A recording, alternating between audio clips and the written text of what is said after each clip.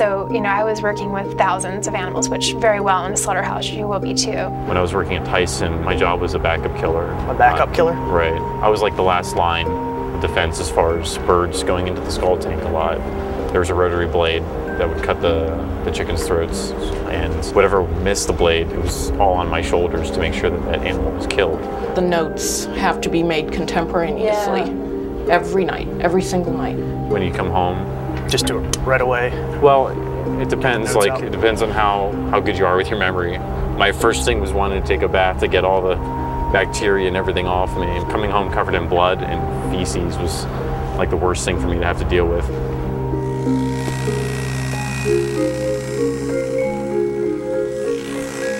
An investigation to me is a lot of time, a lot of money, a lot of commitment, a lot of effort, and a lot of hope. We've yet to have one that has resulted in nothing. They go into these hellholes and bring out the video, and what they show people has the potential to change the world.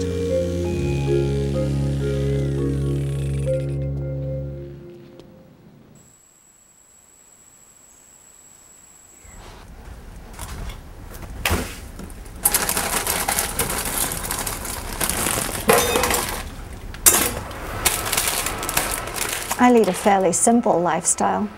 I'm not really interested in a lot of junk material things stuff. It, it does, doesn't fascinate me. I had a marriage and it was very lovely. I was married to a lovely man. Uh, I just, honest to God, didn't have time for it. I've never wanted children. I was sterilized when I was 22. Um, I read that there was a new procedure that was easy, and so I called up and said, Can I be one of the first people to do this? I came to think that there's something wrong with wanting your own child, that there are so many homeless children in the world, so many orphans, that if you really want a child, why make a replica of yourself and your partner? I don't have animals. I travel all the time. And I don't miss not having animals because I believe that you should work to help them, not that you should accumulate them, possess them, and so on. I'm an atheist. I don't believe in God. I believe that the horrors in this world could not ever have been created by a loving God. I believe in kindness, I believe in personal responsibility, and I believe in being decent to people. This is a place where we had the back of a chicken uh, truck thing came open, and chickens just came tumbling out as the truck went down the road. About five of us came out here and caught all the chickens we could up and um, brought them back to the office. And some of them went out to that sanctuary, the ones who were salvageable. Most of them weren't salvageable. Um, I'm sorry to do this, but we, I have to turn around. There's a dove that's um, probably dead, but I have to have a look because I'd never trust that they are.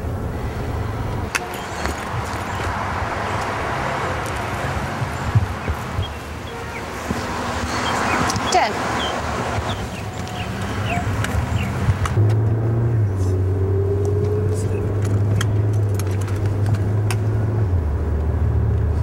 So where were we?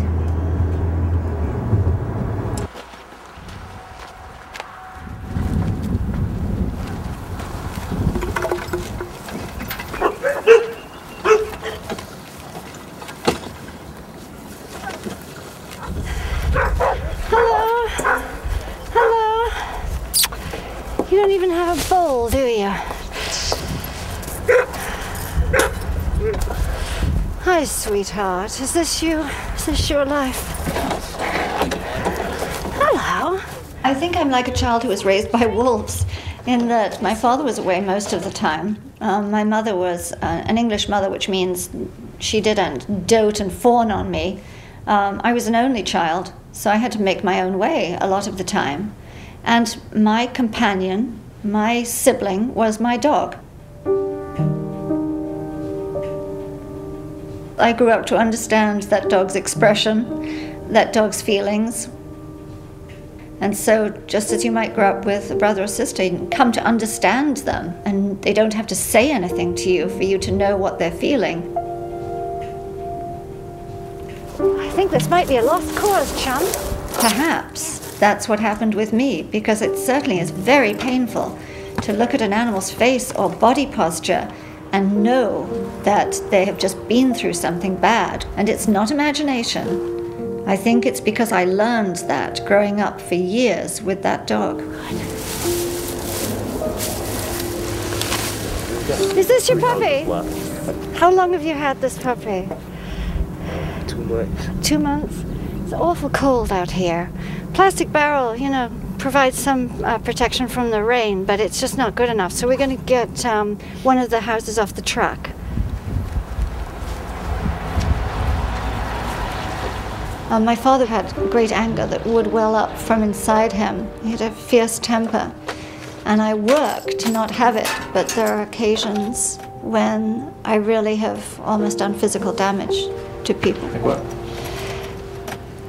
The first incident that I remember is when I had just arrived in India. I was sitting at a table and I was drinking my soup. And I looked out, you could see the street from my dining room.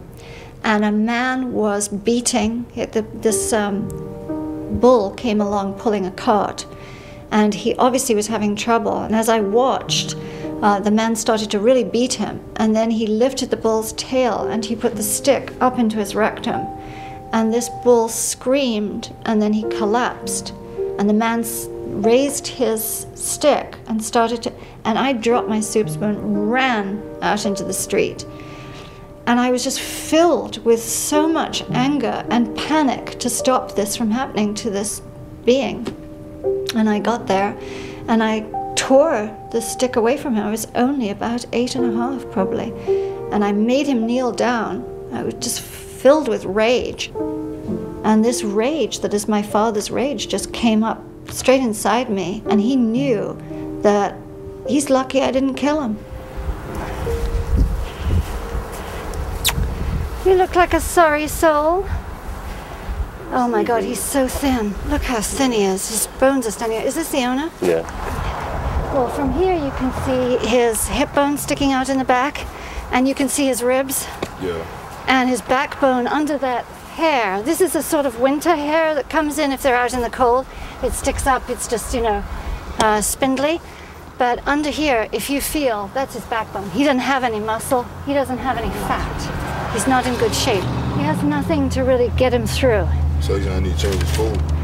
Well, I think more than that. Let's look at his gums. See his gums are chalk white. That means he's anemic. What that means is he's probably got worms like whipworms, which are more serious than the regular stomach worms, roundworms. Yeah, I just shot him up with worm medicine the other day. What'd you give him? Uh, it's like the yellow color. Do you have a vet? No, not a personal vet. What are you feeding him? Um, I had like some PMI, then I. Uh, you got any now? Nah, I gave him a little bit earlier this morning. But you're out of food now? Yeah, so I was about to go get some now.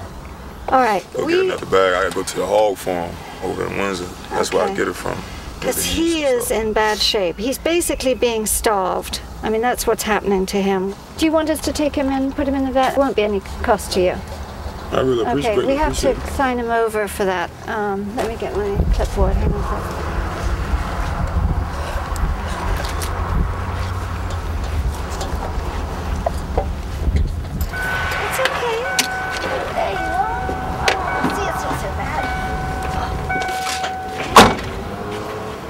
Just a thing. He's one more thing that they have, I think.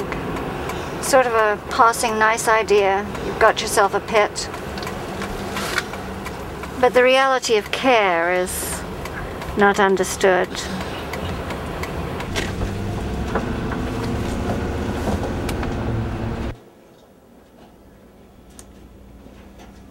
So what's the verdict? Well, he's heartworm positive. Um, he's severely anemic, as we knew, and he suggested a blood transfusion. He said his red blood cell count was 12% versus 35 to 50%, which is normal. So he's he's pretty bad off. So um, we'll talk to Kashawn. Yeah. Kashawn? Hi, my name is Daphne. I'm calling from PETA. Okay, he's got heartworm disease. Do you are you familiar with that? Mm-hmm. You are familiar with it. It's um, transmitted by mosquitoes, and usually what happens if it's untreated or you don't give the dog a preventive, uh, the worms lodge themselves in the dog's heart, and that's why some of his breathing is labored, if you've noticed. Um, and so that requires some pretty aggressive treatment. You know, I want to talk to you about putting the dog to sleep.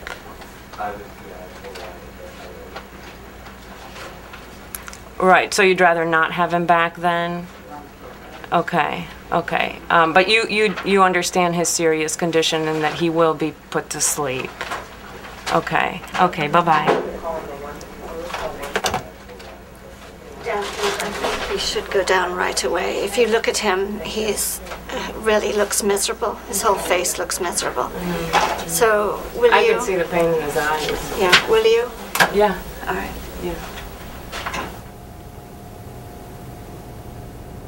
My first euthanasia experience was because I took some kittens who uh, had been abandoned by my neighbor to the local shelter. And I didn't realize they were going to be put down. I was very naive. I thought they'd find wonderful homes for them. But I happened to go into the back to have a look at the other animals, and I found they had been put down. And I was pretty shocked because obviously I'd betrayed them. I'd, I'd taken them to this place and they had been killed. And it wasn't until much later that I realized that sometimes euthanasia is a gift to them.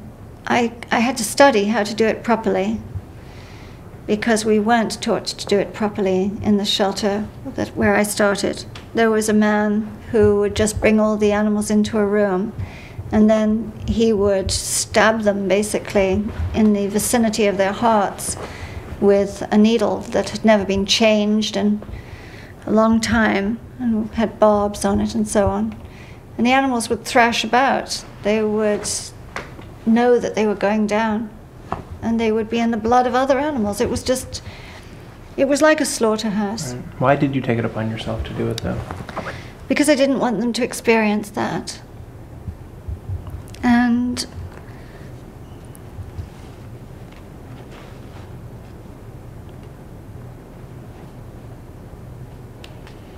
well, I just knew that if I came in early and made a clean place for them and brought them out as if they were going for a walk and did it kindly, they wouldn't know.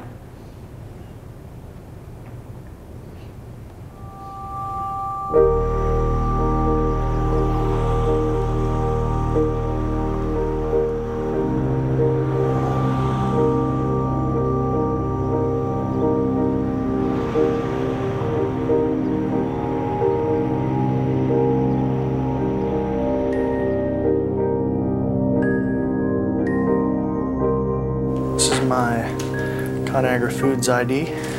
When I get to work at 5:15, I clock in. We're each standing in front of our, our own separate coop.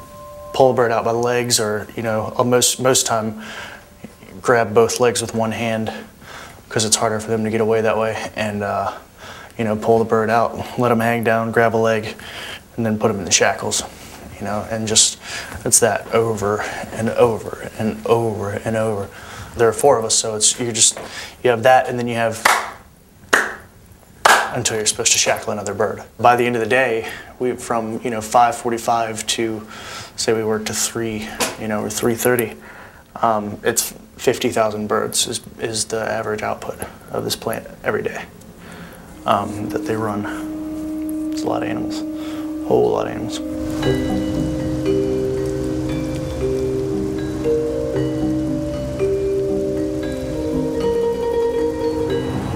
So I saw a turkey get sexually abused before it died today. Uh, this morning the line stopped and a guy got my attention and said, "Hey, look at this," and stuck his finger in the turkey's vagina. And like, it- you know, the birds are upside down, so he just like did this for like a good 30 seconds and would like do it and like look at it and be like, "Eh, eh, eh, eh." And it was uh that's you know gross this definitely uh, validates every notion i had uh, in my mind about about slaughterhouses and about animal treatment. To begin with, most people won't, won't even work in a slaughter.